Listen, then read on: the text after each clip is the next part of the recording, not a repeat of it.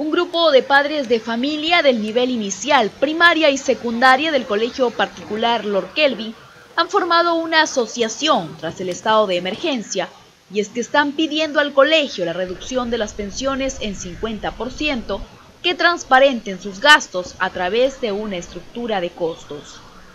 Claro, estamos, estamos entre las exigencias respecto a la, reducción de pensiones. Lo que nosotros pedimos, eh, que el mes de marzo eh, no, se, no se pague, o en todo caso se pague la cantidad de días eh, presenciales que se ha llevado. ¿Por qué? Porque solamente se llevaron seis días presenciales y de ahí hubieron dos semanas que no hubo nada. El colegio solamente se pronunció para pedir a los padres que vayan pagando eh, para que se puedan cumplir los pagos de los docentes. Y de ahí se, se inició recién las clases eh, virtuales, ya vamos cuatro semanas. Sin embargo, como todos sabemos, a nivel nacional, la mayoría de colegios que no, que no tienen una plataforma virtual propia mejor dicho, que no han tenido eh, educación eh, virtual desde hace tiempo, son estos colegios se han acogido a lo que es las aplicaciones gratuitas, como es el Zoom, el Claro. También piden mejoras en la calidad de la enseñanza virtual. Que presenten su plan de recuperación de clases. Bueno, ya lo, acaban de presentar en la noche, ¿verdad?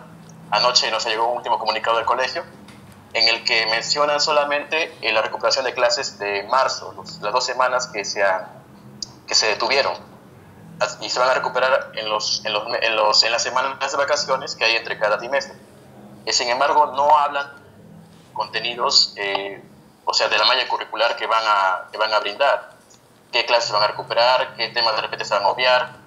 Y, o sea, esa parte de ahí no, no todavía no, no concretizado nada. Para esta asociación que la integran 56 padres, representantes de las aulas exhortan a los directivos a que los llamen a conciliar acuerdos para beneficio mutuo.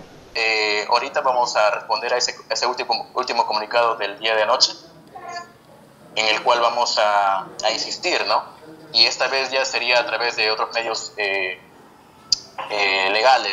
Ya que contamos con el respaldo de, de tanto de resoluciones ministeriales o del, a través del Minedo, ¿no? A través del, del de la Asociación Civil eh, que protege al consumidor.